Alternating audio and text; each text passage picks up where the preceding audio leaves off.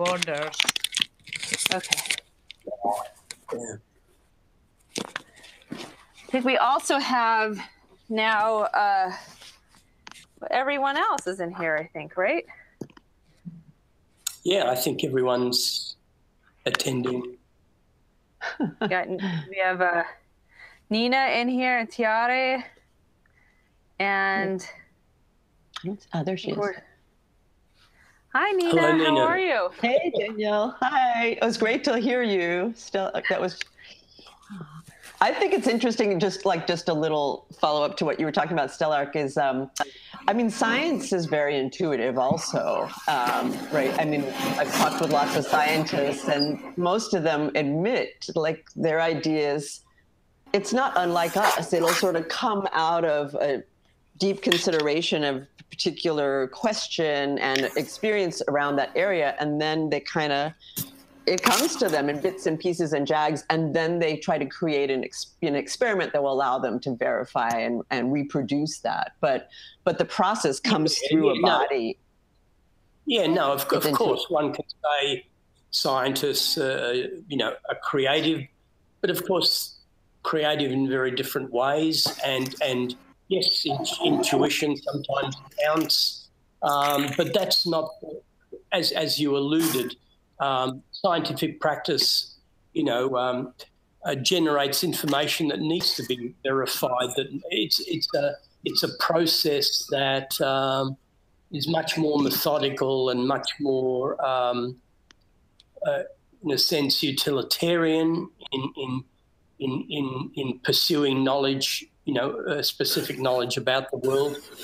I don't necessarily think art art does that, or needs to Mhm. be authenticated by any kind of institutional or scientific pursuits.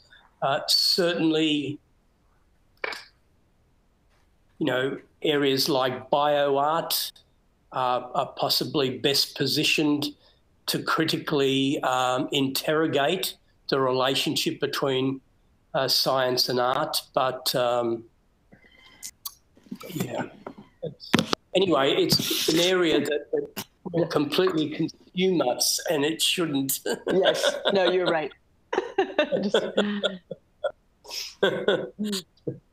it's it's another discussion, and it's a much uh, longer one. And you know, being complicit uh, with a university for the last five years, uh, being in a position of doing full time research. um, you know, I've had to kind of uh, try to manage, um, you know, the dilemmas of of, um, of, of sort of uh, you know writing research statements and and methodologies and uh, reporting outcomes as if you have to articulate, as if, you know, uh, text becomes a kind of a, a prosthesis for any artistic outcome. You know, you have to sort of talk about it to justify it, to, to, to, to ratify it. Um, and all you're really doing is is ticking boxes for university admin. Um, so yeah. Anyway, enough. Okay, I'm just giving you guys a five minute warning. Um, I'm I- so just so you know, on my screen I have Delma um, communicating with me because she's operating everyone in um, all the translators, uh, and then any questions that come through the live stream, she will also connect with me about, and then I'll relay those to you all. I'm just going to give you guys a little bit of the structure because we're going to start live on both. It will sim- this platform simultaneously streams on Facebook and YouTube. Um, but I'm not watching either of those, so they will they're um, they will let me know. Delma and, and the other team will let me know when any questions come through. Um, I want to make sure everybody knows each other in the room before we start. Um, I think that we, Stelarc and Nina, you've been discussing with each other, um, but we also have Tiare uh, Ribiera, who's Ribio. Sorry, how, how do I pronounce your last name? Rebo. Ribot, Hello, Sorry, everyone. Ah, Tiare hello. And then Anna Dumitriu, and, and let me know if I don't if I'm not pronouncing your last name per, uh, That's okay. properly. Okay, Dimitri. great. That's right. Yeah. Dimitri. Okay, Dimitri. Okay, uh, Nina Waisman, Stelarc, Tiara, and and so just to let you know, because this is simultaneously translated, this is a quite ambitious endeavor. Endeavor, but it's it just just make sure to don't speak very fast. Just sort of speak um, at a pace where the translators can can hear you and translate with you, which is also a problem for me because I tend to speak quickly. So I, I will, you know, I'm going to be a little bit slower in my in my speech because we just have to make sure we're translating. Okay.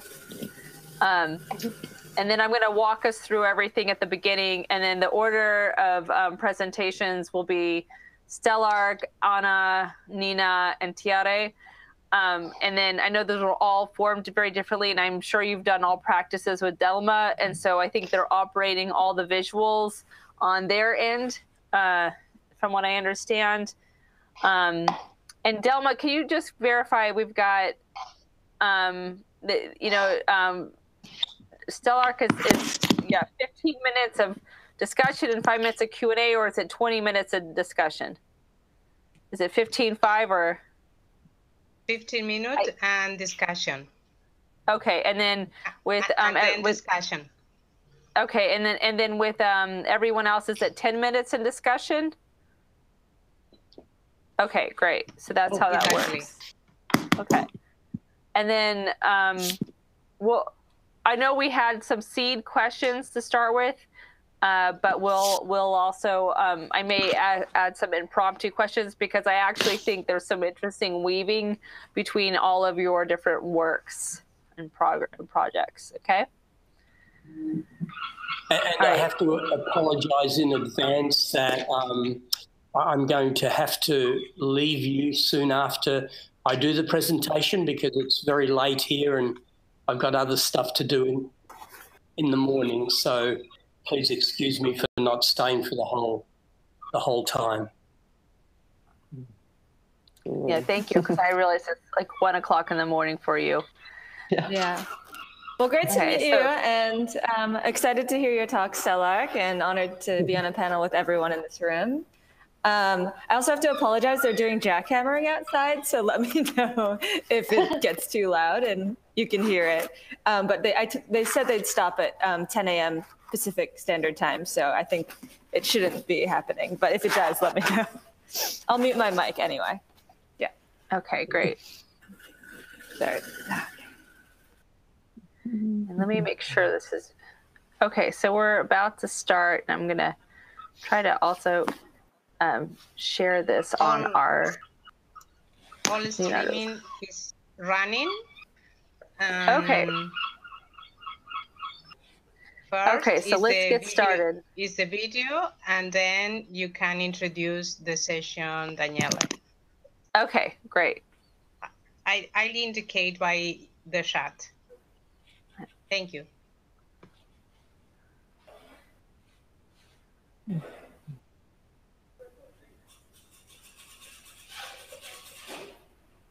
Угу.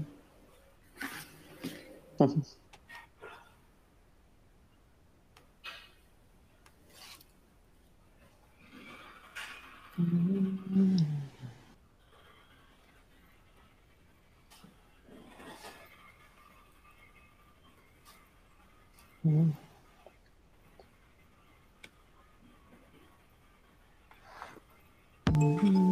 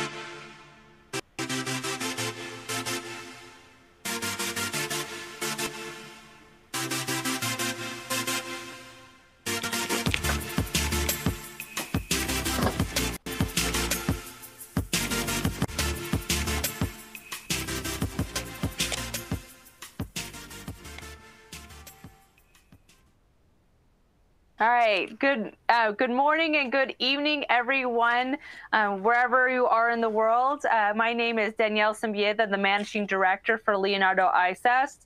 I'm welcoming you to the uh, the third event in the celebration online for Leonardo's 50th anniversary. This event has been simultaneously broadcast on radio, television, and social media on both Facebook and YouTube. This is the third in the series of live events. Um, please also mark your calendars for the final 50th anniversary series taking place uh, November 19 through 23 in Uruguay. There will also be a moment during the in-person celebration to connect online. So we will do another uh, live event during that uh, that in-person conference. Uh, so to acknowledge all the fantastic people who have supported this uh, initiative, this event is organized by Ania Cultural in Uruguay and supported by the National Network of Mexico, CUDI, and the Academic National Uruguay, RAU, and we count on the collaboration of the Clara Network in Latin America. So um, just as um, I mentioned, this is, if you're not familiar with Leonardo, the International Society for Art, Sciences, and Technology, we are a um, international organization. Uh, we focus on supporting, next slide, please. Uh, we support artworks on the intersection of art, science, and technology uh, through uh, pro programs and through publications. And uh, if you want more information, you're welcome to check out leonardo.info to give you a little bit of understanding about our 50th anniversary events and our organization. So, what I'd like to share with you next is within the next hour and a half, we are going to hear from a lot of artists working on critical issues around the topic of beyond border uh, this is crossing the art and science with body, bacteria, the exploration at the most micro level uh, to the most terrestrial one. This event, again, we mentioned is simultaneously broadcasted. And so what we'll do is we're going to hear from all the different uh, artists, and then we'll have a little bit of time for Q&A and a lot more time towards the end. Next slide, please. As I mentioned, this is Beyond Borders. Next slide, please.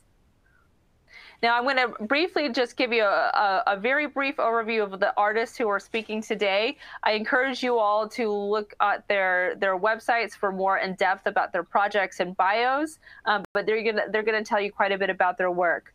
Uh, so. Uh, the first artist we're going to hear for, from today is Stelarc.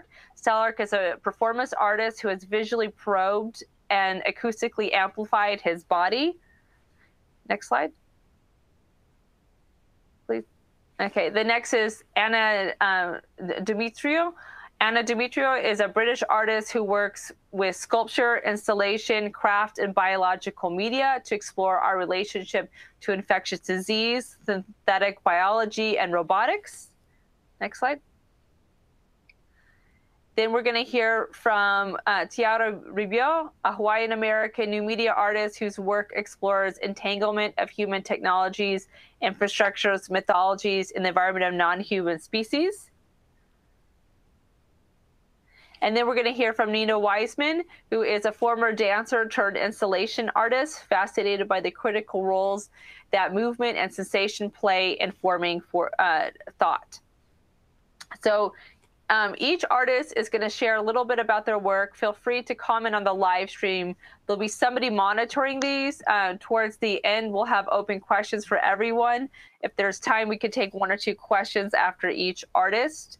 Uh, we, we had a, a, couple questions. I'll just briefly show you what those are, but um, I think we should get started into uh, uh, uh to, to Stelarc's presentation. Okay, great. So, um, so I re- thank you, Stelarc, for joining us. And I think the next we want to we want to then now introduce um, st- the videos that Stelarc has has put together. Why don't we start, Stelarc, with you just giving a little bit of um, background about yourself and uh, a little bit about the journey um, of of your work over the past um, I don't want to. I want. I don't want you to have you define all your work because we're going to be talking about, about about that there. But just tell us a little bit about yourself for anyone in the audience who is not familiar with you.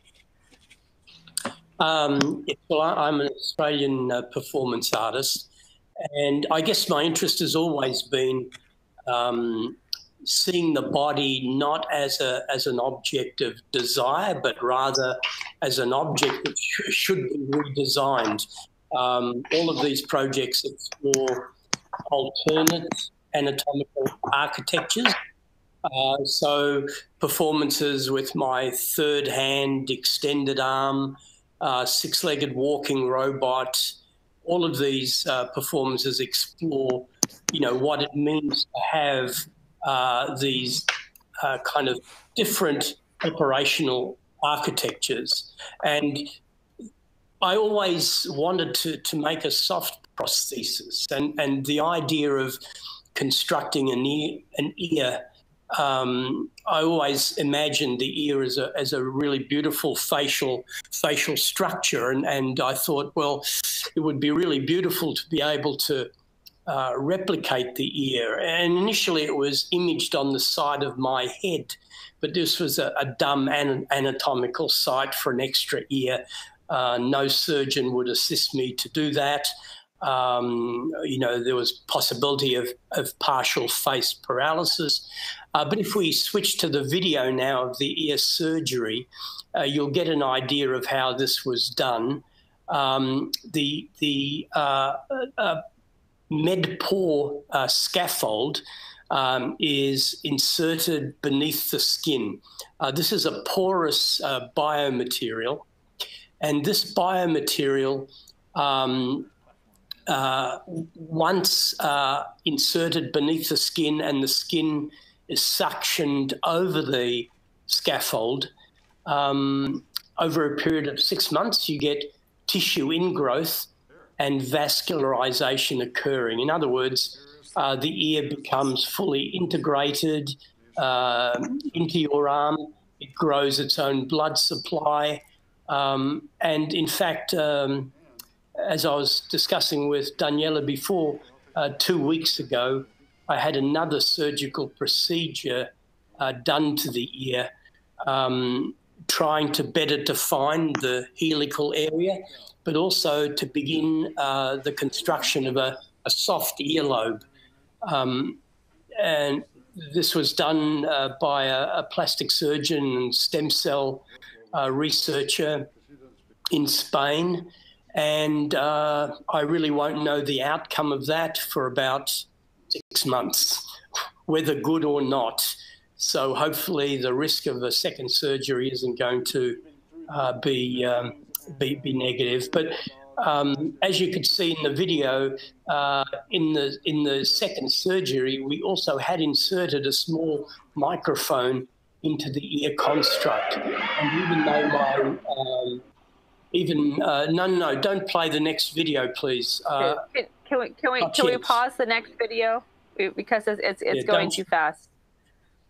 Yeah, no, I'll I'll prompt you as to when to play the video. So uh, let's go back. Yeah, so um, the idea really is to eventually internet enable the ear to reinsert the microphone. I'm working with a grinder uh, group in the US uh, to develop a, a set that can be inserted um, inside uh, uh, uh inside the arm uh, with a series of LEDs as well, a tilt sensor, a GPS included. so this extra ear will be an ear not for me, but for people in other places, a remote listening device. So the idea of a soft prosthesis uh, is is is uh, this result of a of an ear on my arm. But you know, all of these projects really explore uh, how we become complicit uh, with technology in, in various ways, in both very very physical ways uh, and also uh, in very intimate ways. So the propel performance and play the, the next video but without sound. Um, in this performance, my body was connected to a, a three meter um, industrial robot arm. And the body uh, is choreographed uh, on this uh, robot arm. So, in this way, no sound, please. No sound. Just play the video without the sound. Thank you. Um, so we could uh, precisely program the trajectory, the velocity, the position and orientation of, of the body on, on the robot.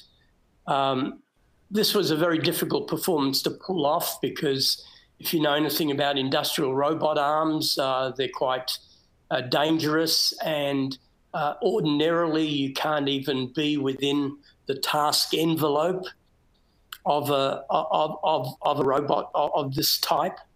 Um, this performance was for 30 minutes. Um, so the speed of, of uh, the body uh, was also varied. Uh, but after the 30 minute choreography with the body, the body was replaced by um, a body scaled ear. This was an ear um, that was laser scanned, that was uh, um, CNC machined. Um, what's interesting about uh, the choreography of the ear was that um, the robot that choreographs the ear is the same robot that carved the ear. um, so um, uh, that performance was a, a, a much more uh, physically uh, problematic one. Um, with the Stickman performance, um, if we can play the next video, please. Uh, this was a, a full body, uh, no, that's the wrong one.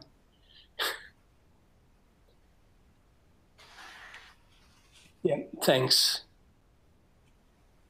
Uh, with the Stickman uh, performance, um, uh, we engineered a full body exoskeleton. And um, this full body exoskeleton algorithmically animates the body. This was for a five hour performance. So the body was algorithmically animated continuously um, by a, a, program running in the background. But in addition, we had engineered a mini stickman that uh, people uh, could move the limbs of the mini stickman um, press play and generate or insert their own movements uh, into the uh, choreography, a kind of sort of electronic voodoo.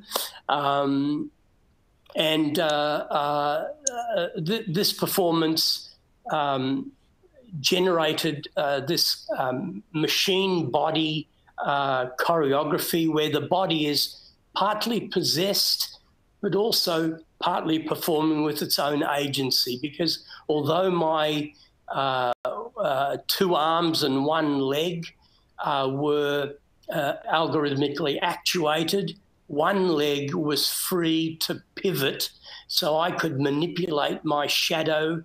Um, projected on the wall behind me, and I could also modulate the video feedback uh, that was uh, uh, projected uh, beside that. Um, now, in the Rewired Remix performance, um, several years ago at the Perth Institute of Contemporary Art, and we can play that uh, final video. Um, for five days, uh, six hours every day, I could only see with the eyes of someone in London I could only hear with the ears of someone in New York, but anyone anywhere could access my arm and remotely choreograph it. The video that I'm showing, though, is a more recent one connecting Eindhoven, um, Basel, and Antwerp. Um, I could only see with the eyes of someone in Antwerp, only hear with the ears of someone in Basel but anyone anywhere could access my arm and remotely choreograph it. It was kind of outsourcing your senses um, to people in other places and also sharing your agency. If you were in the gallery, you could interact with the body um, using a, a, large touch screen. Uh, otherwise, you could go online and, and do that uh, wherever wherever you were. So on a daily basis, I didn't know what to expect. I didn't know what I was going to see. I didn't know what I was going to hear. Um, so this idea of, in a sense, becoming this kind of extended operational system of distributed agency and shared uh, sensory experience um, was the the kind of uh, the conceptual raison d'être for doing this. Well, you know, one of the things that keep, that kept coming to mind when I'm when I'm hearing every one of these projects is trust. And you are giving a lot of trust to other people to to to interact with your body, and I want to understand how you um, how you uh, have accepted that, or if you have accepted that. You know, why are you why are you offering this to complete strangers? Both from like what you're going to be doing, having people listen to your body all the time, to um, people remotely sending things to you to move your body. I mean, that's a lot of, to me, that's an enormous um, an initiative. Well, I think it's um, yeah. For me, it's not so much an issue of of trust or who's in control, uh, but but rather this idea of um, problematizing what a body is and how a body operates in the world, because we're no longer uh, merely biological bodies. Um, you know, we've been uh, augmented, amplified. We're now being invaded by micro and, and nano, nano sensors and nano mechanisms. Um, so really, the the body is this uh, much more extended system of interaction, um, and, and, that's really what these performances try to to, to, to explore. Really.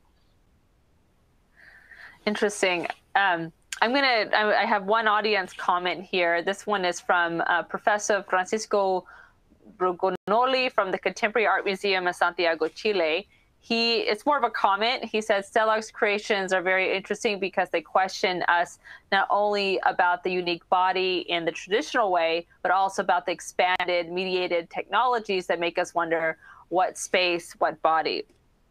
Uh, and and uh, also, I think because we're um, Stelarc is not going to be able to stay uh, for the entire session. If we do have any mm. questions from the audience, um, uh, please also comment on that so we can um, bring that forward. Um, I, I, I, think that you know that is an interesting. I don't know if you have any response to his comment, uh, but I think it kind of actually connects to what you just said. Well, I think I, it, it's it's sort of an interesting time, I think, because we're sort of living in an age of of circular, what I call circulating flesh, where we can take organs from one body and insert them into other bodies, where we can stitch the hands of a cadaver to the arms of an amputee and reanimate them. Um, it's also a time of prosthetic flesh, where increasingly now uh, bodies of these contemporary constructs, these contemporary chimeras of meat, metal, and code. Uh, it's also a time of fractal flesh where bodies and bits of bodies are spatially separated but electronically connected, generating recurring patterns of interactivity at varying scales. And it's also a time of now of phantom flesh, where increasingly we we're experiencing ourselves as our digital doppelgangers. Um, mm. By phantom flesh, I don't mean phantasmatic, but rather experiencing our bodies as kind of phantom limb extensions. Um, uh, so, uh, in fact, fan, you know, to others online, we appear as, as these flickering phantoms, um, sort of switching on and off, you know, as if these are glitches in biological time, this sort of digital noise that's invading our biological you know existence. In fact, all sorts of digital organisms, uh, digital entities uh, are now invading the human microbiome and contaminating us in all sorts of interesting ways. yeah, it, it, a, a, lot of these fantasies that people have sort of um, concocted over, over, over decades are actually just a, a, complete reality now. And I think you know that that here, so we're we're we're we're not our body is not ourselves anymore. There, it's just it's really mixed. I, I agree with a, a, lot of what you just mentioned. Um, one other question I have is what ideas um, have all these performances generated and how have they affected your outlet? Or your outlook, um, sorry.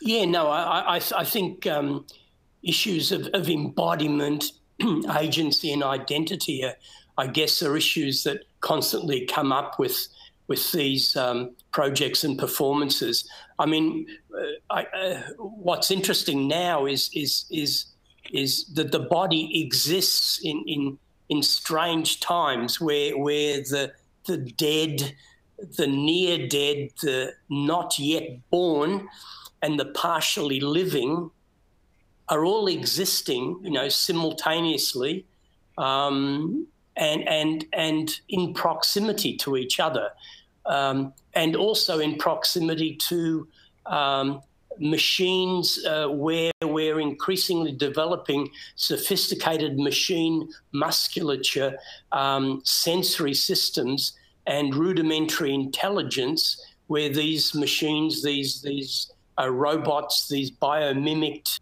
uh, uh um, uh, entities, uh, will increasingly interact with us. So there are these different kinds of life forms uh, that we now have to interact with. And what's intriguing for me is what minimum vocabulary of behavior generates this sense of aliveness, whether it's in bodies or, or, or machines.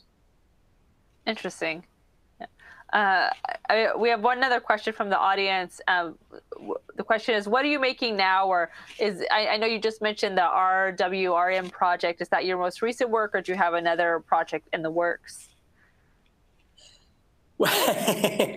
um, well, uh, the the the Stickman, Mini Stickman, the Rewired Remix performances are very recent uh, projects. Um, the, the, the, the surgery to my ear occurred only two weeks ago. Um, it's a project that was begun in 1996, so it's taking a long time to, to realize. So that's always an ongoing project that, that uh, you know, hopefully will be completed and will be uh, wired up and operational. Uh, I keep saying in a year. Um, I have no idea now because uh, every surgical procedure takes quite a, a long time before we, we, we know the outcome. Um, so really, the way that I work is is with this kind of posture of indifference, where I allow things to happen in their own time with their own rhythm. I don't have expectations. I don't plot the future. Um, I just uh, I, I, just function as an opportuni- opportunistic artist that um, is is open to any possibilities that, that might that might occur. Um, so really, there, there's nothing that I'm planning for in in some imagined future. I think the present is a handful to manage. it definitely is. You know, it, it, it's good that you're you're able to work in the now with such a a, a real insight or um, to actually what's happening towards the future. I think a lot of what you're you're you're addressing is is is um, is true, but it's also really something that hasn't been uh, completely made aware of on a on a public level as something that we are you know we're all living in this sort of this this disparate um, environment where where everything around our bodies and what our bodies are and how they perform and how they connect to you know technology on the most micro level and the most macro level it's still quite um, something that people have not been able to to, to really take in as um as the reality of where we are right now. Um, some some may yeah, say this is still very science yeah. fiction. You know, go ahead. It's it's just um, that one project uh, generates iterations for for other artworks. Um, in fact, the, the the the the support structure on the industrial robot arm uh, generated the idea for the Stickman exoskeleton, the minimal full body exoskeleton. Uh, so a support structure becomes an exoskeleton uh, in, in its future iteration. So one idea leads to another, um, and also the, the ideas that I've been speaking about can only be authenticated by the actions uh, that the artist uh, uh, uh, performs. Wonderful, thank you. Um, we're almost out of time. If unless somebody has a burning question. Okay, so I want to thank you, uh, Stelarc, for for taking the time to connect with us today. If you have time to stay on and listen to some of the other speakers, you're welcome to it. I understand if you have to jump off because it is quite late. Um, I wish I could actually ask a million more questions, but this is uh, really a good um, and and opportunity for to, to really introduce your work along with these other artists who's you know i could see a lot of connections between the other um, presenters today so thank you very much no thank you and i, I really apologize yeah. not being able to stay on because i've got some early morning stuff to do so it, it it's a bit difficult uh, but thank you so much and and um, i certainly know some of the artists who you're speaking to um, so i'm sorry to miss the others Okay. Well, thank you very much. Have have a good evening. Good night. thank you. All right. So now we're going to welcome Anna Dimitri, uh, uh, Dimitrio. Anna, Dimitri. welcome. Dimitri, yeah, sorry. Apologize. Yeah. uh, and and uh, I, would like to first of all welcome you, and then uh, let's start by having you just for the for the audience who is not as familiar with your work, if you could share a little bit about yourself and then we can start. Um, um, we can we can initiate the slideshow, uh, and we're going to yeah. kind of talk through that slideshow as it runs, right? Okay. Well, I think just leave it running in the background's fine. Okay. That's yeah, because it's just on a loop, so you can see okay, go images. ahead. T- tell us a little bit about yourself, and I'll, I'll I'll have them start this right now. So, yeah, I'm an artist based in the UK. Um, I've been working for, uh, I would say, quite a long time, um, um, embedded in uh, microbiology settings. So I trained in fine art originally, and um, I've always had a kind of fascination slash, I suppose, about um, these kind of bacteria infectious diseases. Maybe it's kind of hypochondria. I don't know. Um, but the more I um, started to investigate bacteria, the more obsessed I became with them and the fascinating things that they can do, the fascinating stories around them, and also the histories of infectious diseases. So my work often kind of draws threads across time. So um, I'm very interested in the early history, treatment of disease, things like that. But I'm also very interested in the cutting edge technologies happening now, things like whole genome sequencing, CRISPR gene editing, um, things like that. Um, growing teeth from bacteria in the lab, you can see an image there. Um, whole genome sequencing bacteria. Um, I learn all the techniques hands on. I'm very um, interested in participatory work as well, bringing people's stories into um, into the work and the projects and bringing stories in and kind of storytelling. Um, and I work all hands on with pathogenic organisms mainly. I'm artist in residence on the Modernising Medical Microbiology project at Oxford University. I'm artist in residence on uh, with the National Collection of Type Cultures um, in the UK, which is the oldest and most historic collection of pathogenic microorganisms in the world. Um, so a type culture is like the original bacteria, so the original strain of something. When you identify something for the first time, that's the type culture. Um, some of the type cultures aren't the super super original, like with the E. coli. It's um it's one similar to that because the original was lost, but um, they have, um, for instance, the famous bacteria that um, Barry Marshall um, drank, the Helicobacter pylori bacteria, that he drank to prove that uh, that that could cause stomach ulcers. Um, they have um, strains of Yersinia pestis, which is plague, the Black Death, and I'm currently making a plague dress um, impregnated with plague DNA that I extracted in the lab. Um, I work a lot with category two organisms as well. So you've got these different levels of biosafety. We've got category one, which is basically your everyday world is kind of like category one. So these are the non-pathogenic bugs. Category two are pathogenic organisms, I, organisms that can hurt you, um, but can usually be cured with antibiotics. Um, and cat- category three are microorganisms that are very difficult to cure um, or quite dangerous microorganisms, such as uh, Yersinia pestis, plague, um, or uh, tuberculosis, which is another bacterium I work with a lot, very important in the history of infectious diseases. So, yeah, that's basically a bit of background to what I do.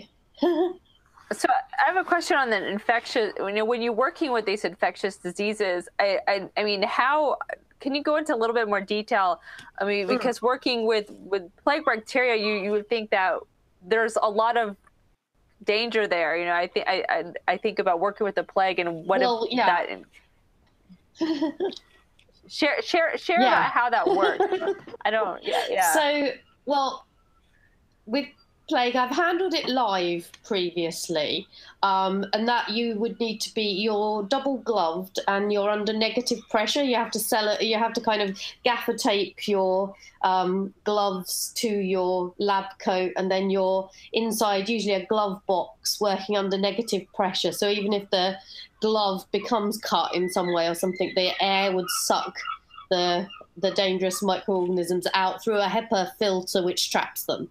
So this is how they do biocontain the level three. It's a sealed room. Um, you can take notes in there, but you have to fax the notes outside. So you can you can fax your notes to yourself outside. Um, the camera, if you take photographs, you'll see in the trust. No, in one of the trust me, I'm an artist shots is me handling plague. It's with a yellow glove on, holding a red petri dish. I don't know if it's in this, um, but uh, uh, you could take photos. But the camera is their camera, and they need to fumigate it using like um, formaldehyde kind of spray um, before it's allowed out, before they can access it. For extracting the DNA, we microorganism first. So I'm extracting the DNA from the dead plague, which is the same thing. In terms of DNA, it's exactly the same stuff, it's the code. And then DNA, because it's just the extracted DNA, that doesn't have any infectious elements in it. It's the it's the just the code that tells you how to make it. So I'm able to use that in my artworks, and I have all the proofs necessary from the most significant labs in the UK that work with these things to show that this is all completely safe and approved. So I work very closely with leading scientists to do that. But I do it That's all a hands really on unique- myself. They let me. that's a unique opportunity to be able to do that and to ha- and and to be able to be trained in that and so um so once i mean I, I noticed that a lot of a lot of a lot of these end up coming into the form of craft so can you talk a little bit more about how um how, how you're connecting science to craft Well, I think a lot of it comes from it's kind of there's a little bit of a kind of feminist side to it, really, because um, in the kind of the early days of science, or even now, if you if you look at it, but in the early days of science, when um, men were the natural philosophers, um, there there were relatively fewer women, or that if they were doing it, they were doing it a bit more under the radar. I like to kind of uncover those stories as well.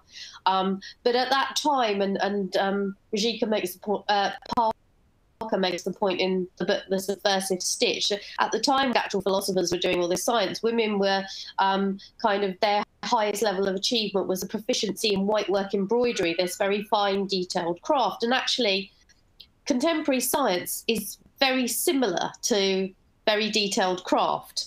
Um, these you have to basically biology is pipetting. It's it's being really good at pipetting or getting somebody who's really good at pipetting. So it's like using these little devices and taking tiny, tiny amounts of things and adding them to other tiny, tiny amounts of things, adding them up, uh, heating them up, cooling them down, and adding things. Basically, is is kind of how it all works uh, these days with the with the sort of yeah with the genetics research or, or genetic modification.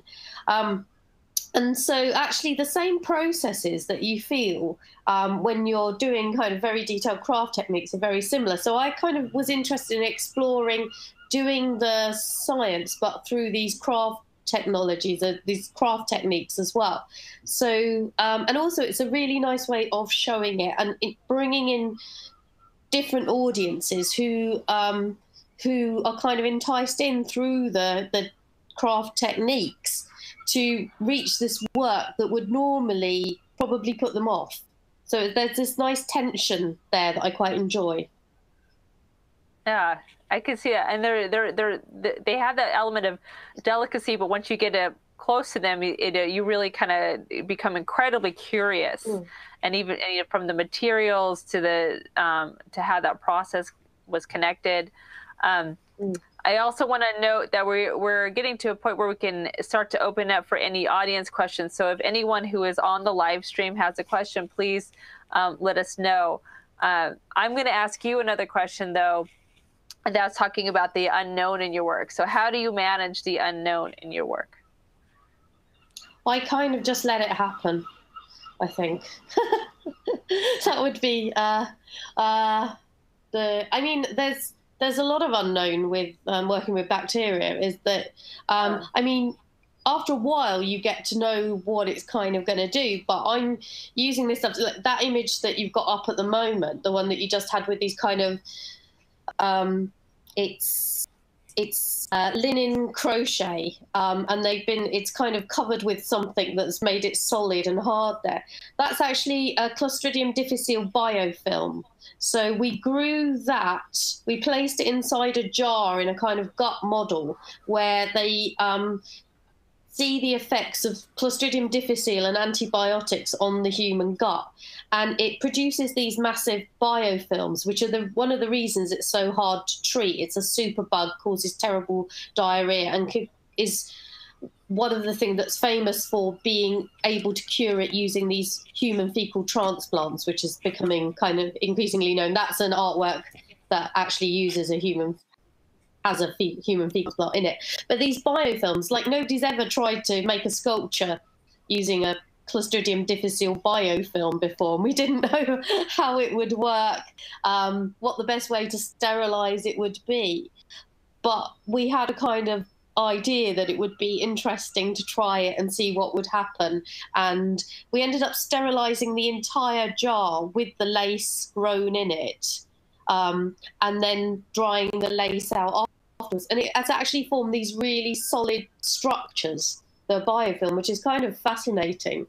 Um, and the reason it's it's on linen lace is because um, the bacteria that is responsible for making linen is um, is called Clostridium, and it's the same spe- it's the same sort of genus as Clostridium difficile, but it's a different Clostridium. And Clostridium means spindle, and you use spindles in lace making. So I I made all these kind of things. I've got an exhibition opening at our space in Lisburn in Northern Ireland for the Northern Ireland Linen Biennial uh, next week. So all these works that are there referencing linen have this this link to it, that piece as well that you can just see. Um, yeah, but it's yeah, it's using these materials and just kind of going with it, I guess. A lot of the time, I don't know what they're going to look like until until I start doing it, and then I get a feel for it as I'm. It's like using it's like using different paints, but you've got to imagine that every paint is is is alive and is going to grow in a different way or has all these different things, and they don't even they don't like each other. so you can't grow two. People always have these ideas they can make a nice, nice pattern or something with one next to another, but sometimes they'll interact. I'm not interested in that kind of decorative side. I'm interested in the storytelling behind that. I think. Yeah, I think that's really. I think the storytelling is actually really helps people connect everything together. I really, and um, I think you do a really incredible job at that. Um, one of the things that I'm curious about is when you first started working with different researchers and, and labs, um, how did you start to build those relationships and build the trust? Um, I know you you um, had this longer longer project called Trust Me, I'm an Artist, but even prior to that, um, building those relationships. So where you could where you could where they where they did start to let an artist into this super hazard biolab. That's not that's not like uh, something you just call them up and say, "Hey, I'm doing the project. No. Can I come over and do this?" No, I mean, can you walk us a little bit through the beginning of that? Yeah. I I wanted this is it's going back quite a long time, so it's going back to sort of when we first started to have the access to the internet. that was sort of of any kind of speed that you could Google something, but uh, I mean there wasn't that much. And then I started to kind of find out a bit more about bacteria than you would normally like then the press want us to know or the tv or the advertisers want us to know and every time i looked at these stories of the bacteria in a little bit more detail i would find that actually the story was the complete opposite often to how it was presented to us in the newspaper and that's something that really fascinates me so i approached um, the medical school. I approached some scientists um, at the medical school here, and after a little while, I was in to Dr. John Paul, who um, I've been working for about 15 years now. Um, he's just retired, but he was the um, regional microbiologist for London and the southeast of England by the time he retired. So he was in charge of all microbiology services for Public Health England for, for the biggest region in in the UK. Um, but he wasn't when we first started working together. He was a hospital um, consultant then, and a consultant means that you're sort of a, a, a higher doctor. Um, an important doctor is called a consultant here. I think it doesn't translate necessarily in other languages. I had this problem in Canada trying to explain what a consultant was. Um, and uh, so I worked with him for a long time. And then through that and through just my obsession and my interest and my progress with my work, um, more and more people have kind of contacted me or I've spoken to people or I've met people. And so it's reached a stage now where I have these relationships and uh, normally um, scientists will also approach me to work together or I meet them through other contacts. I really like kind of organic collaborations to kind of form. Um, so they're not forced. There's a it's an interesting thing. This sort of issue of curated collaborations where we're going to put an artist together with a scientist, um, and sometimes that doesn't go so well. I think um, sometimes it does. It's luck in those situations. I think, um, but the sort of more curated, uh, the more natural um, collaborations, I think, are the way to go ideally. Uh, but yeah, it takes a long time and like we're saying about how these, you know, you have these ideas rattling around in your head, um, and I, am not sort of, I, I, sort of push things a bit, but I'm not like desperately pushing things. I'm waiting for the right moment where an idea can sort of evolve. You know, I thought of things years ago, and then now they're sort of coming to the fore. Like when I first wanted to work with TB, um, it wasn't legal or possible, but then things changed and the science made it possible for me to use the extract DNA. Um, and it was my collaborators that were doing that. Then I could incorporate it into um, into into my art safely and tell the story of their research through it. So it sort of it moves along organically with what's possible in the science too. When I first thought about removing an antibiotic resistance gene from a bacterium, that kind of predated CRISPR um, being possible. And I've subsequently been able to use CRISPR gene editing to do something called homologous recombination edit on a bacterial genome to remove an antibiotic resistance gene to repair it back to its pre 1941 state. Um, so So it's just sort of a matter of biding your time, I think, as well, sort of just being patient. Well, th- thank you so much, Anna. I, I, I, w- I would love to hear more. We do have we we actually have to move on to the the next presenter, but I um I, I want to encourage everybody for us to take this offline and continue this dialogue because um this is this could actually be an all day discussion. So thank you so much, and and I hope you. you. stay on to hear to, to to hear Nina and Tiare next. Um, so I think the next uh, presenter is Nina, right? Is that right? The Dylan's check it, checking in. Oh, Tiare, Eh, Tiare. Okay. Is All right, sorry. Darren, Apologies. exactly. Okay. All right. Hi. Um, um, welcome, Tiare. I wanted you to start by just giving an introduction about yourself and letting those who aren't familiar with you get an idea of um, who you are, and then we can and we can start um, going into the presentation right out um, immediately. Actually, you can start to turn on the slideshow. Go ahead. Oh, I can't hear you. You're you're muted. Hold on a second. You're muted. Can you Uh, unmute her? Okay, yeah, we can hear you now. Go ahead. Hi, everyone. Thank you, Danielle, so much for the invitation. And um, you guys can feel free to actually roll my slides. I'll let you guys control it on that end. Um, it's, an, it's an honor to be here and with such um, established uh, artists in the field. Um, I actually have a background with textiles as well. Um, I'm originally from Honolulu, Hawaii, and uh, started to um, just really teach myself how to make garments at a young age. Nothing quite fit me. And um, I came from a background where we were uh, buying and selling clothes kind of at thrift stores and at the markets um, to, to make rent uh, with my grandmother and my mother, all women, kind of uh, single mom, two single moms, my cousin and my grandma. And um, I really had this affinity for textiles. Um, and in Hawaii, I also grew up um, around uh, the ocean and um, around uh, all these different water bodies. So if you can go to the next slide, um, some of the first works I did really were inspired by uh, all of these different uh, bodies of water that I grew up around. Um, I grew up in Honolulu, which was nestled between the jungle and the ocean, basically, the rainforest and the ocean. So um, when I left the city, I was uh, really close to um, rivers, waterfalls, and the ocean. And uh, subconsciously or not, um, that these water bodies and the ocean really inform my work um, throughout my lifetime. And uh, I'll come back to that later. Um, I have done some work since then um, with uh, 3D printing. Um, if you could move to the next slide. And um, these works, this work in particular, um, started to in, explore the geological landscapes that our technologies originate from, such as the Bayan Obo mining district uh, in Inner Mongolia, where the largest deposits of our rare earth minerals come from.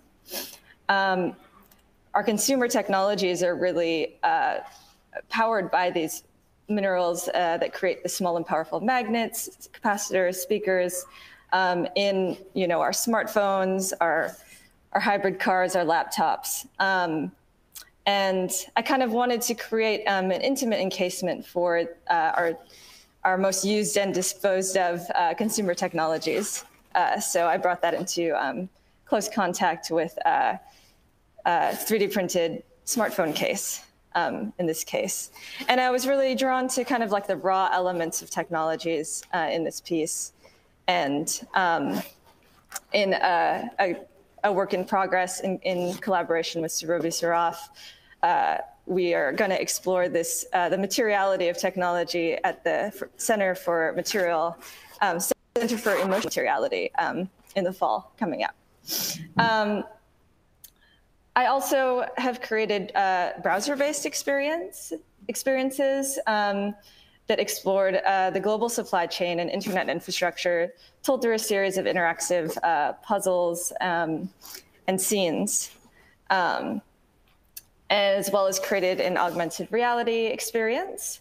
Um, where um, that took place along um, the estuary estuary park and the San Francisco Bay Trail. I'm based out of uh, the San Francisco and uh, Oakland for almost a decade now. Um, and in this project, I was um, pulled back to the ocean and uh, was interested in these kind of anomalies that happened with um, uh, these large infrastructural systems. So container spill accidents and um, the creatures that live next to um, the submarine cables that uh, uh, the fiber optic submarine cables that connect us uh, globally. Um, so um, I, I, don't have the screen share enabled, but I was going to share some interactive scenes from that. But if you go to um, Ubic City, which is in, in two slides from here, um, you can see kind of links to those projects. Um, and this was a fun, um, in this slide here, this was a, a fun kind of like interactive experience where you could it was a scavenger hunt for these these organisms that usually are hidden un, under the ocean in the deep sea, but again like to live uh, next to um, these infrastructures. Um, brittle stars, uh, sea pigs, uh, sea anemones, things like that. Um, now, going back to the ocean and going back to more of a biospace, uh, my current work is, sorry, please move forward with the slideshow. Um, my current work um, is focused on cyanobacteria, actually. Um, and these are ancient organisms that were the first to actually create oxygen on the planet through photosynthesis and through endosymbiosis became the chloroplasts that exist in all plants today. Um, I recently did an artist exchange in Kiev, Ukraine, where uh, algae blooms of cyanobacteria um, proliferate in the Dnieper River, which runs through all of Ukraine. And it's um, a, a, phenomenon that happens kind of synergistically with rising ocean climates, um, with rising temp, with just uh, during hot hot water, and it's it's a it's a phenomenon that exists globally, but um, something that I wanted to explore in this specific place in Ukraine with the American Arts Incubator, which is an international exchange uh, that sends artists to different countries uh, globally. And I was lucky enough to work with Izolyatsia in Kiev and uh, 33 different artists there uh, who actually helped me create uh, an exhibition. We created a collaborative exploration um, exhibition exploring these um, this phenomenon of um, harmful algal blooms through speculative design. Um, and these uh, included 3D prints, uh, video projections, um, and also some uh, microbial footage. Um, So, um, are, we, are, we, going too fast for your slides? Just checking. No, no. Um, yeah. it, they're they were just a little out of order. So to give you just okay. a little bit more of a background, um, so I did um, work as a lab technician, um, just pure research, um, super growing algae uh, to convert to biodiesel on the Big Island of Hawaii. Um, 10 years ago, kind of when this research was fairly new and um, that that was just kind of like pure science, um, doing the research and getting really intimate, kind of watching over these small micro microalgal growths uh, for 12-hour long days, um, and then uh, five years later, I went to Puget Sound and I um, studied harmful algal blooms. Um, off, off the coast of, of Puget Sound in the form of dinoflagellates. Um, so I really was introduced to these um, these creatures kind of behind the scenes, not as an artist, but had always wanted to um, bring them into my artwork and and integrate them into living artworks or explorations. And that's really what brought me to this place when I was in Ukraine to study these works. Um, so here's uh, the exhibition that uh, we did in Kiev. And as I mentioned, it was uh, really interdisciplinary. There were a lot of, of works um, shown across all um, different mediums. And um, they, I wanted to look, I created some laser cut portraits of the Dnieper River where algal growths uh, really were more pronounced. Um, so, so here we're kind of seeing um, from satellite view uh, regions of the river um, that that have uh, some uh, big issues with the harmful algal blooms of cyanobacteria.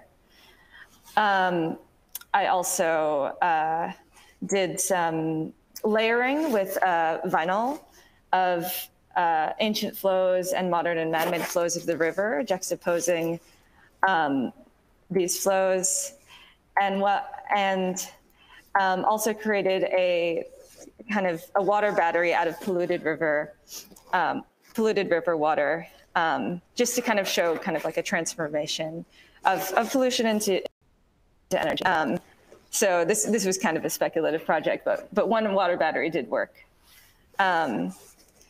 And feel free to just kind of move quickly through the slides if you like at this point. Um, so again, um, artists in my group had um, explored also through textiles, um, different uh, digital realizations of th this, this phenomenon. And after the exhibition, I really wanted to get uh, not just these laser cut portraits, but microbial portraits of the, the river. So I collected water samples from those uh, satellite image views um, from, from different parts of Kiev, from the north and south of, uh, of Kiev. And I put them under the microscope and uh, took some, some video of the, um, the organisms as they kind of uh, moved and squiggled um, under um, under the microscope. We, we don't have to watch too much of it because I, I don't want to take up too much time here. Um, but I was just really fascinated by these forms, the cyanobacteria, the long filamentous strands. And I just became like obsessed with, with these organisms. And as, as Anna was talking about, you know, our increasingly biotechnological landscape where gene editing is something that you can, you can order a kit online these days, um, and synthetic biology is also um, exploring ways that, um, uh, you know, and, um, some uh, cyanobacteria could maybe be integrated or photosynthetic organisms could be integrated into animal cells. I also wanted to consider um, maybe what that would look like um, speculatively if, if humans were to become less human and more like slime. And uh, if we were to start to integrate cyanobacteria into our bodies and they stayed. Um, and I just I currently want to imagine a really slimier future, one where we acknowledge our microbial populations that exist inside of us, one where um, we become less than human. And um, this work with the cyanobacteria has really brought me to that space. And I hope to go back to Kiev and, and explore this further. Thank you. Right. Thanks, Tiare. That's really that's really interesting and very connected into a lot of the whole idea that we're thinking about today around uh, bacteria, microbes, and and how do we actually understand them and and how what is our relationship with them as humans.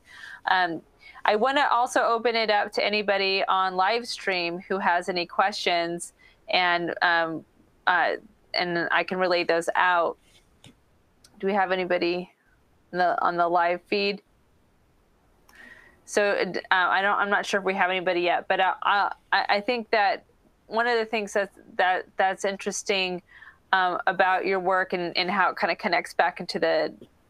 Um, okay, there's a lot of people. A lot of people saying hi to you on live stream. there's a lot of Tiare fans.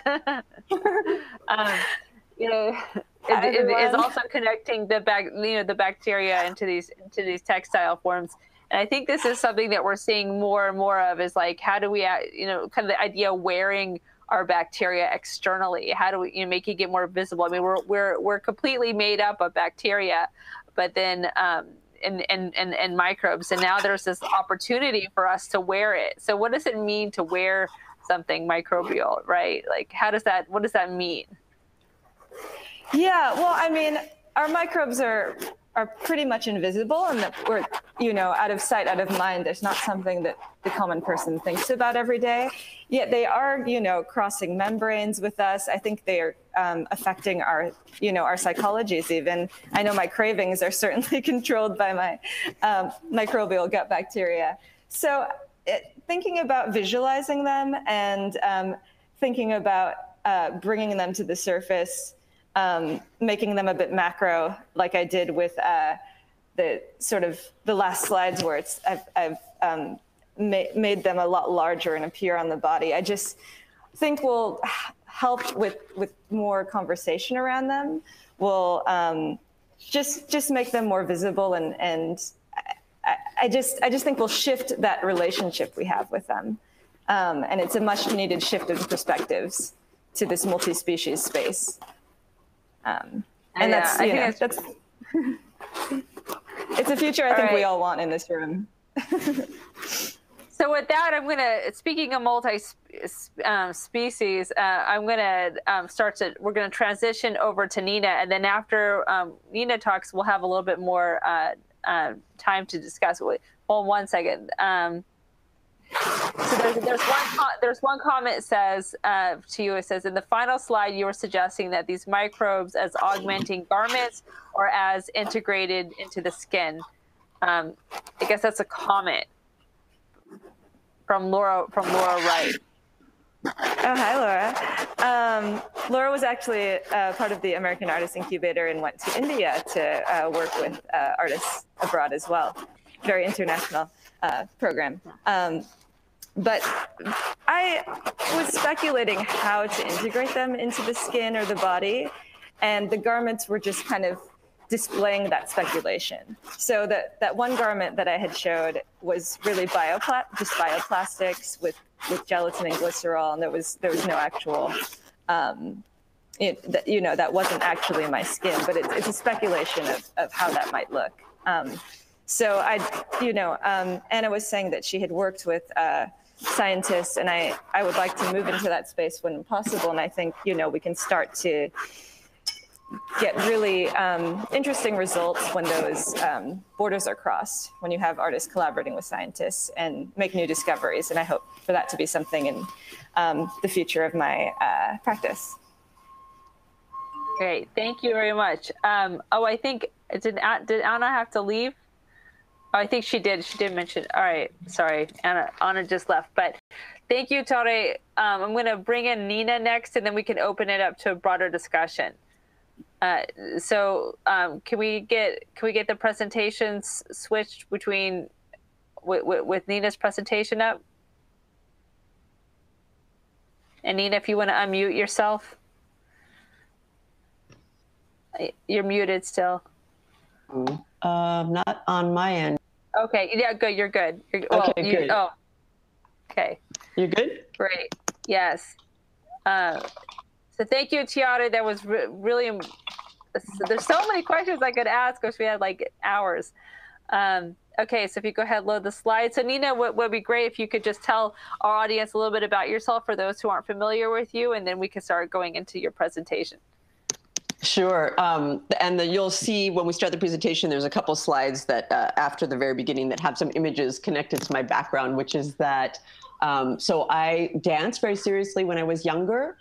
Um, ballet, total nerdy ballet at uh, studying with the New York City Ballet.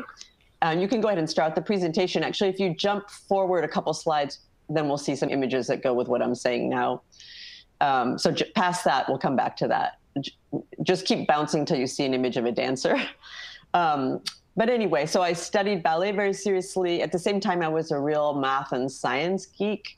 Um, and I just pursued both of these with no idea that they might ever come together. Keep no, keep going forward, please. Um, and so I went, I just wanted to trace a slightly circuitous route because I think um, sometimes people don't realize like how uh, following your interests, no matter how varied they might be, you can come up with uh, a perspective on the world that is useful and exciting to you because it draws from all that background. So next slide, please. that's me as a dancer. Next um, this is so I um, I finished uh, studying with the City Ballet, and I decided I wasn't going to do it for career. I was going to go to college, but I decided to take off a year in New York because I was voraciously curious about people. And one of my best friends was Jackie Curtis, um, one of the drag queens who performed in Warhol's movies. And Jackie, who sometimes performed as a boy, sometimes as a girl, took me all around New York.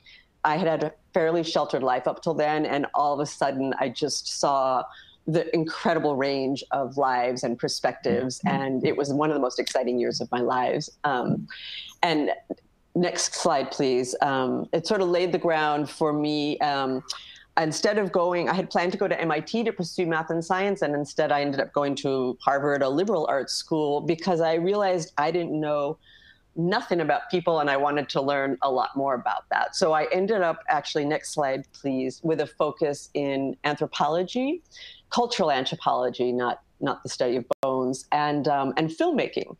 Um, and so so these uh, next slide, please. These uh, different threads. Uh, sort of pushed me when I got out of school into the arts. I knew I needed to land somewhere in the arts. Um, uh, I wasn't going to do ballet. I wasn't quite sure if it was going to be filmmaking or what. So I took a job bartending, which a lot of artists do. And this also was invaluable, really, for my research uh, as it is today, because, and I recommend uh, all artists on the younger side to take jobs in the service business, um, just because you develop your skills of uh, listening to people and learning about people, understanding different perspectives. Um, so now we could back up uh, to the first slide, there's a teeny bit of video there. And I'm going to talk about how this stuff sort of comes. If you could back up to the beginning, please. Um, I just want to show a little clip of Charlie Chaplin as a way to talk about physical thinking. So if you play that video, please. Oh, I don't think we have sound. That's okay. There's some lovely music playing, which actually, there you go.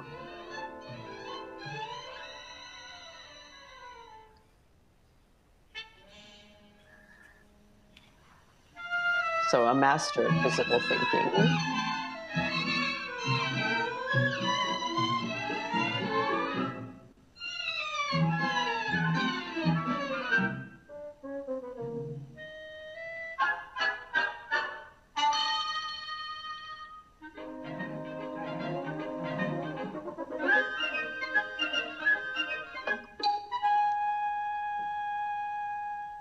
Next slide, please so that was Chaplin, a master of physical thinking, and I'll talk for a minute about that scene. But just to get at this idea of what is physical thinking, what would uh, a neuroscientist think about this? About Chaplin here, he might approach it differently. Um, Rodolfo Llinás, uh, who is the chairman emeritus of physiology and neuroscience at NYU, um, talks about the uh, idea that our so-called creativity, our innovations, actually come from um, gestural memory and in a very specific and interesting way. Anything you've learned to do, uh, walking, brushing your teeth, typing, or in Chaplin's case, um, tightening the nuts with his wrench, all those gestural um, skills are embedded in the brain. They're recorded in the basal ganglia, a group of neurons. And uh, neuro, um, uh, Llinás calls these gestural motor tapes. And these motor tapes play in your brain all the time, not all of them at once, but at a given moment, one or two different gestural memories can play at once.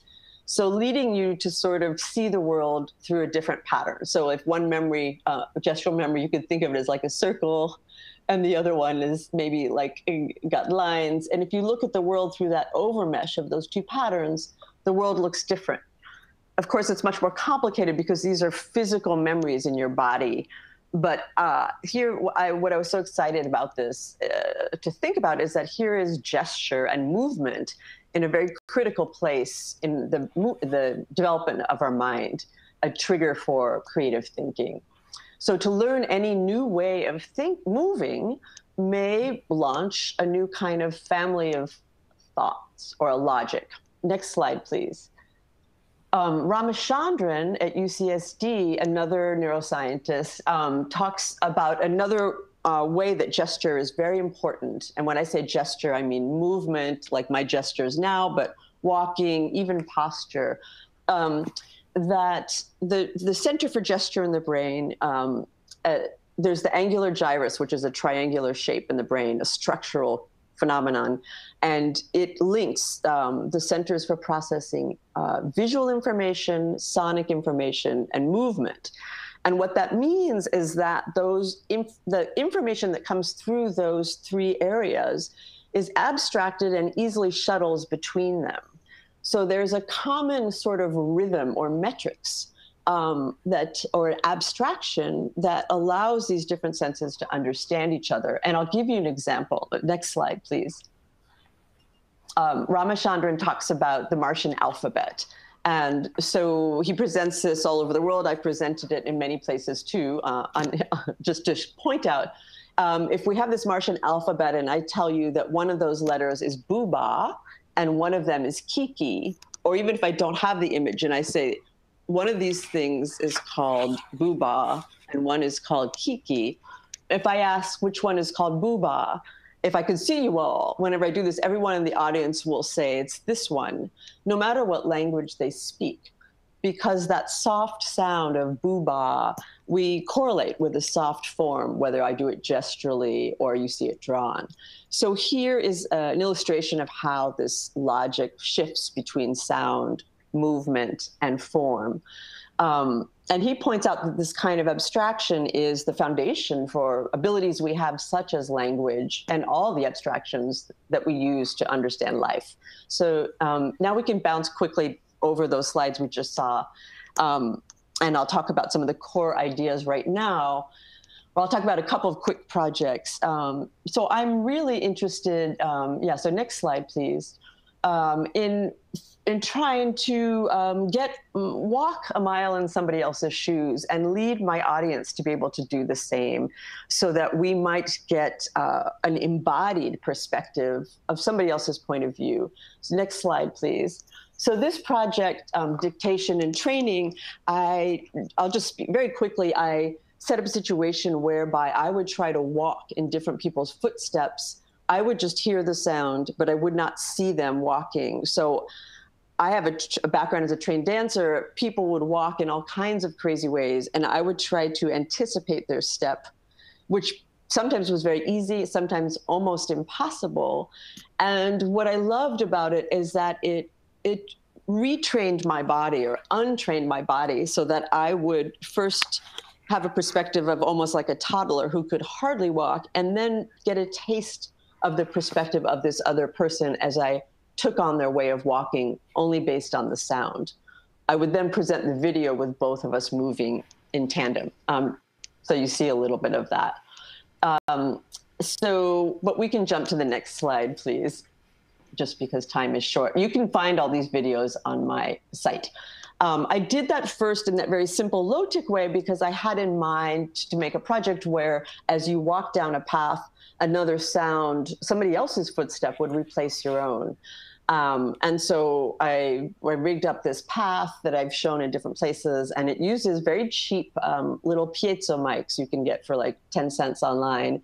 And those record uh, the actual footstep of the person walking and, and um, replace that sound with um, recordings of women in high heels, um, uh, legions of soldiers marching, etc.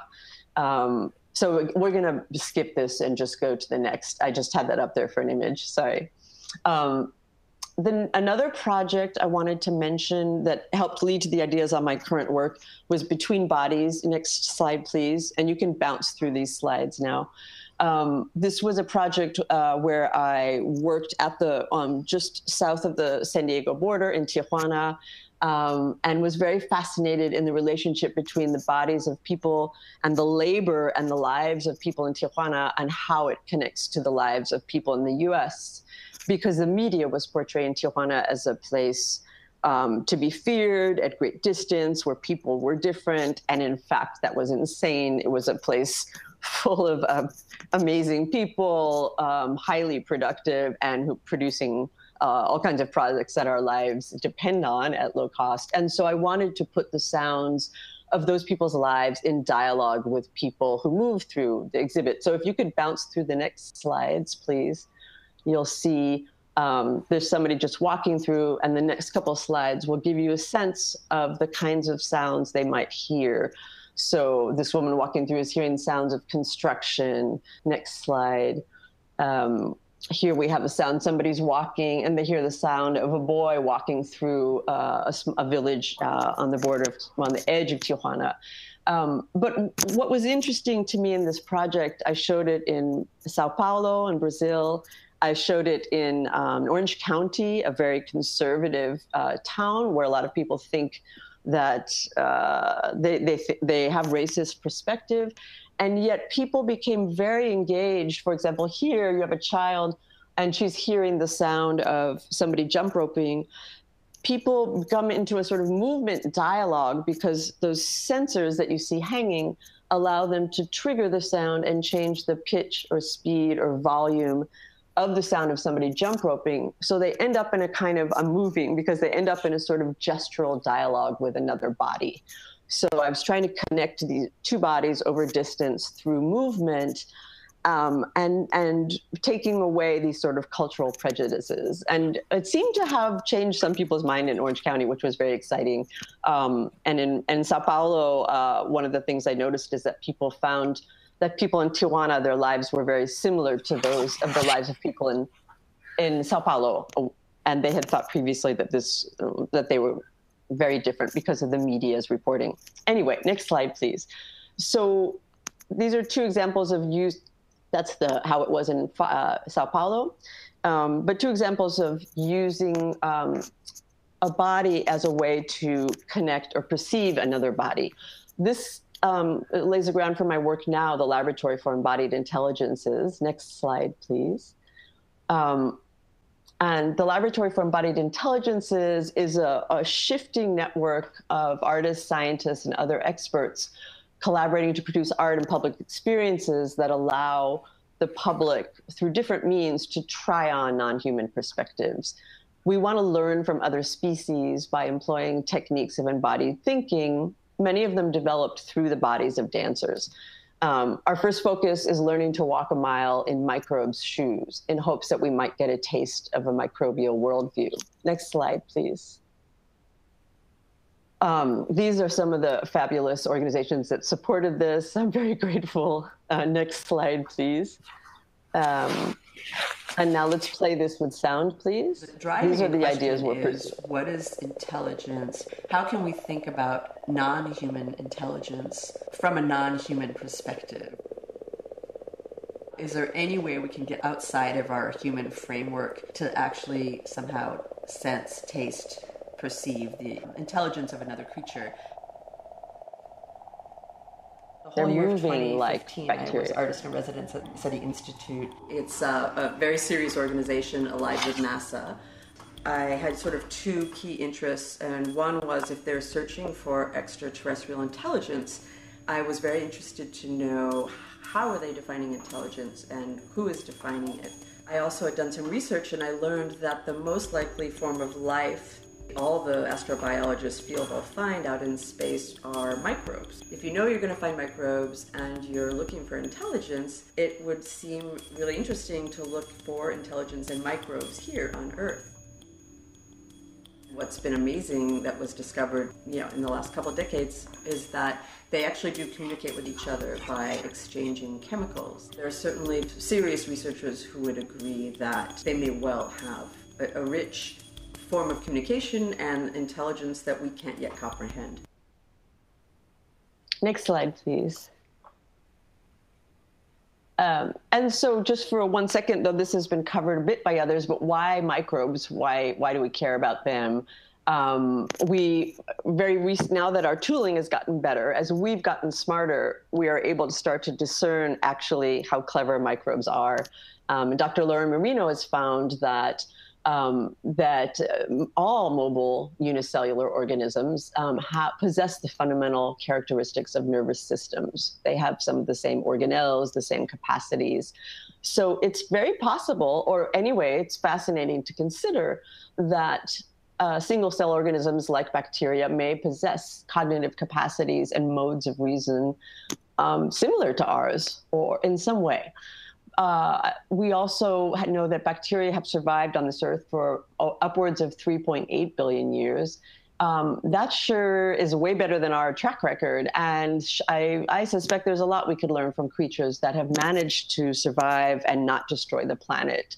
Uh, and also, I, astrobiologists all agree that microbes will be the most likely form of life we'll find outside um, in space travel. And so, if we can study these microbes here, bacteria, we may learn ways to communicate with the extraterrestrials that we are likely to find. And lastly, uh, we have 150 times more bacteria, bacterial DNA in and on our bodies than human DNA. So we may not even be running this show.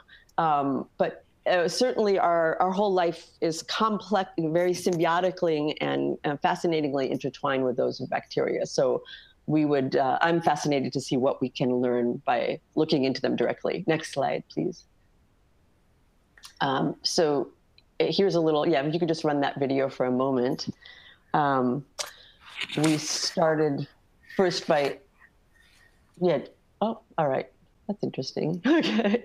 Um, so the bacteria, yeah. So we evolved from these extremophiles, and since um, all of our movement capacities are based on their movement capacities, all the cells in our body have are the activities of our cells are based on the capacities of extremophiles.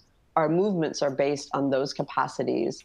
And our logic, as I talked about in the beginning, is based on our movement it's highly, I suspect that there is some reason that we have a kind of continuous, we see some continuities of behavior across species from the single cellular on through plants, animals, and us. Next slide, please. But Danielle, you can also, I have answered some of your further questions, so you can bounce me forward if this, if I'm spending too much time in this area. Well, we should free. start to wrap up soon to, because we only have about seven minutes left, and we want to make sure we have audience questions and and and that if there's any, I think it'd also be great if if everyone like Tiare and and Delma and everybody can who's left online can uh, can connect. Um, yes. Do so you? Um, go ahead. So, so I should, okay. So, if you would like me to wrap up, maybe I'll. I don't know. I could talk about the research um, the process. Maybe I'll just talk about what I have coming up then. Yeah, that'd be great. Bounce through the slides. Yeah, if you want to just click through the slides, um, and you'll see this is uh, just some of the things uh, that feed into this work. Um, my research process is uh, driven from this kind of curiosity I have, uh, lots of dialogue with people, lots of looking at visual stimuli, trying to take that through my body and working with dancers then to pass on that information so that we can develop choreography based on microbial movement. When the audience sees this choreography, because they they get a much different, a visceral understanding of microbial sociality, communication, um, perception, their modes of perception, which are highly, um, exquisitely sensitive, um, and how um, they're very highly tuned into each other. So this you can keep bouncing through.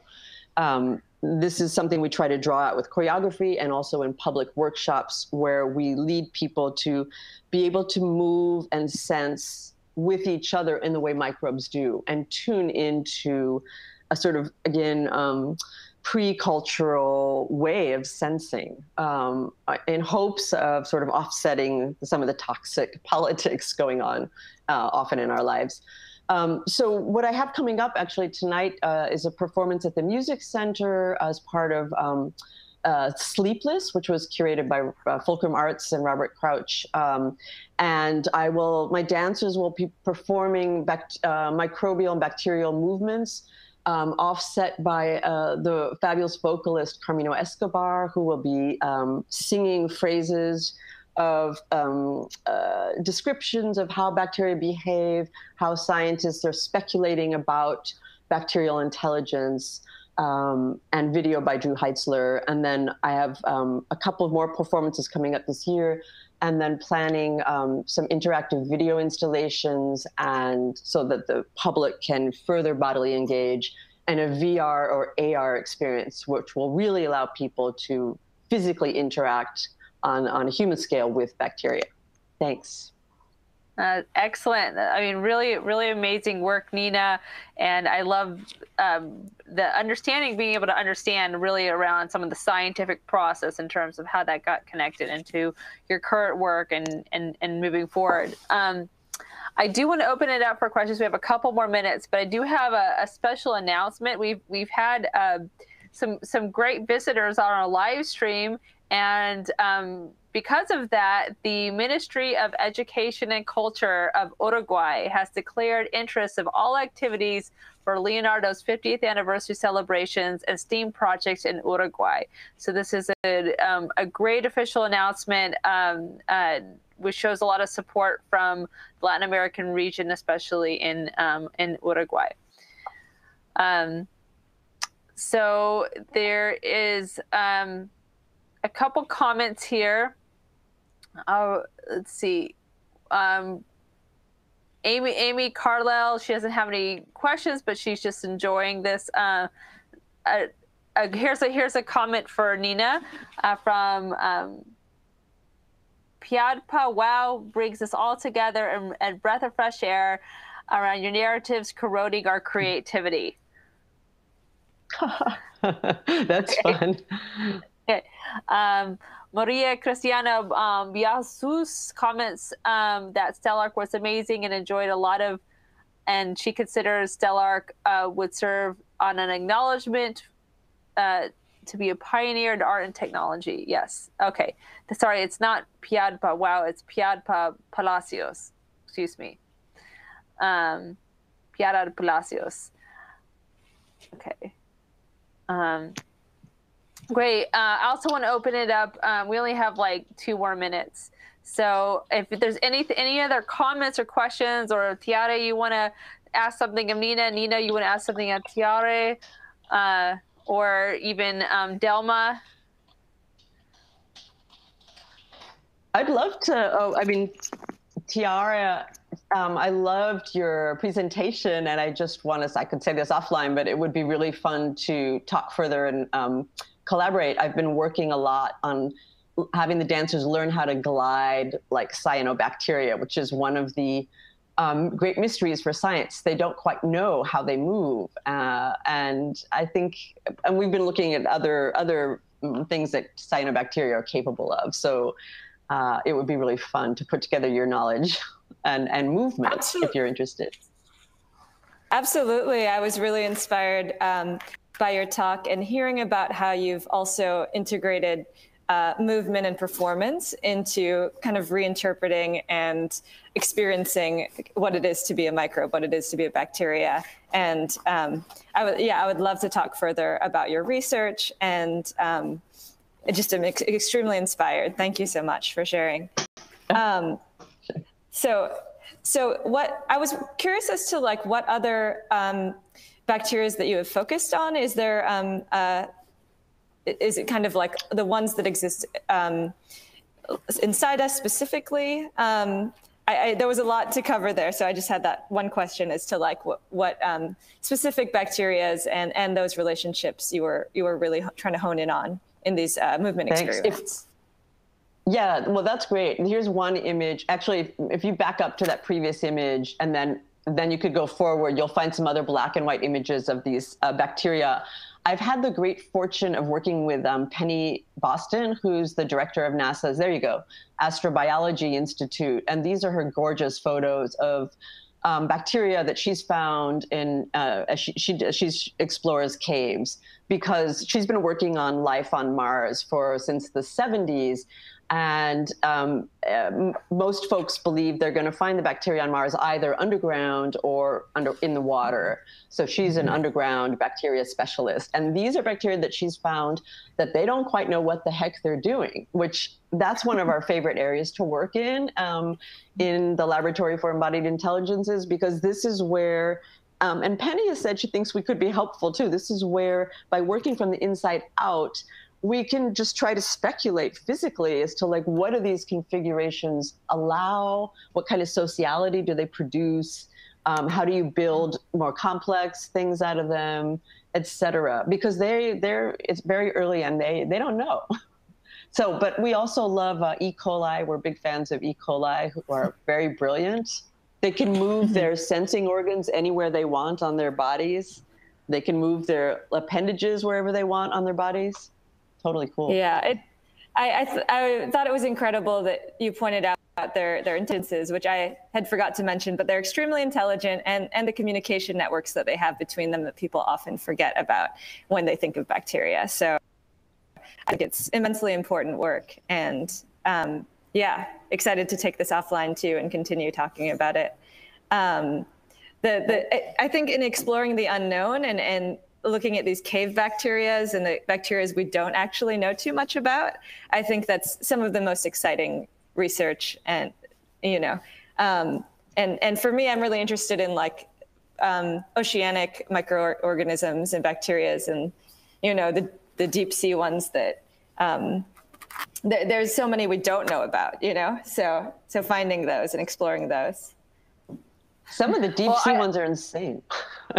Yeah is it no, time to stop? sorry. Sorry it is, it is time to wrap up. I hate that wrap up part because i could go on forever.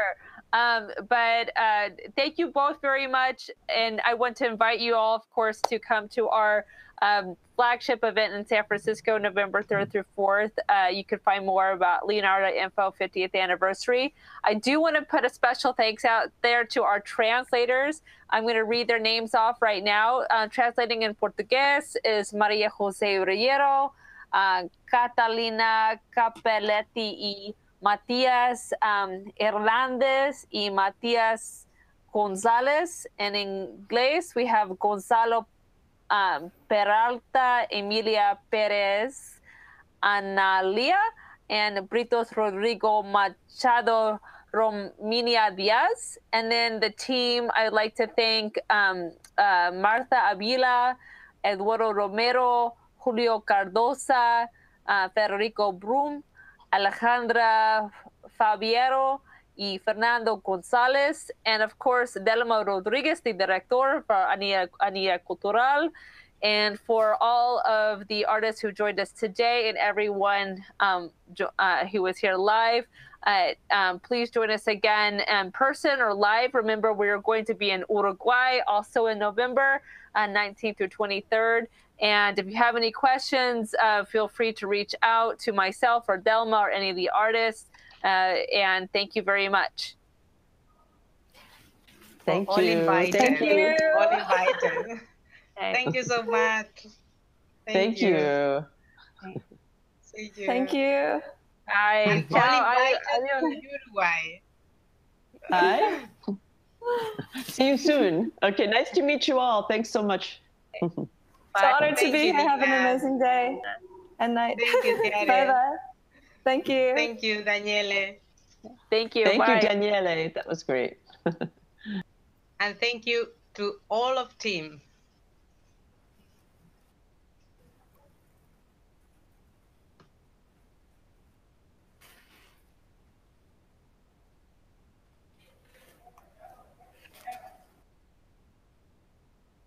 Your call